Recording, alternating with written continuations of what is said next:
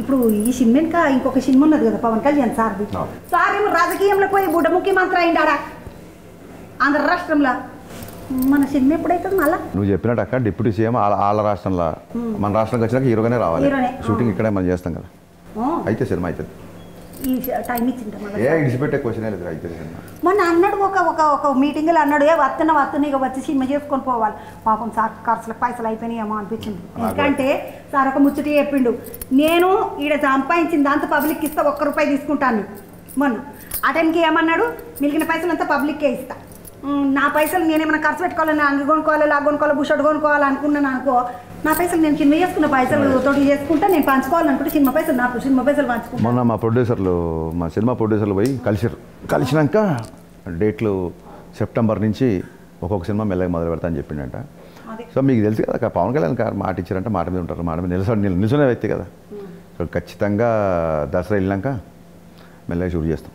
Shooting sure shooting sure అవుతాయి దసరా నాకు Pawan Kalyan sir cinema మళ్ళీ షురు అవుతుందా అంట?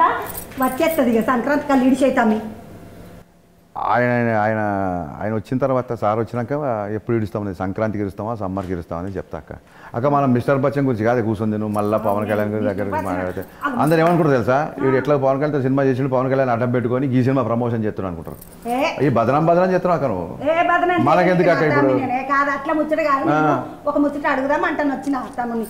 మిస్టర్ బచ్చన్ అంటే ఇంకొక ముచ్చట యాదకొచ్చింది ఈ సినిమాలో అమితాబ్ బచ్చన్ సార్ ఉన్నాడా? బచ్చన్ సార్ లేడు లేడు. మన మనం అమితాబ్ బచ్చన్ సార్ ఈ సినిమాలో లేడు కాబట్టే మనం అన్ననే అమితాబ్ బచ్చన్ లెక్క చూపించినాం.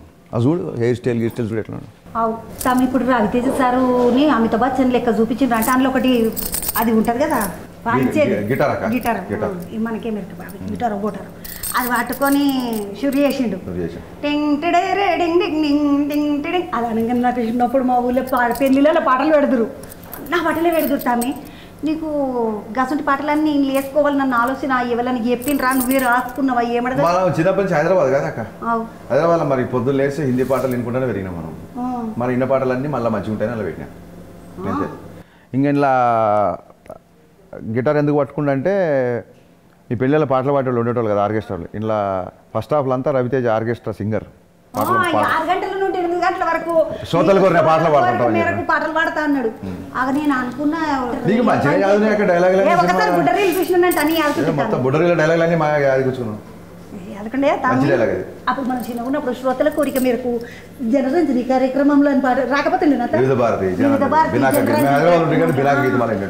అప్పుడు ఇది చిన్నప్పుడు పాటలన్నీ సినిమాలు ఉన్నాయి.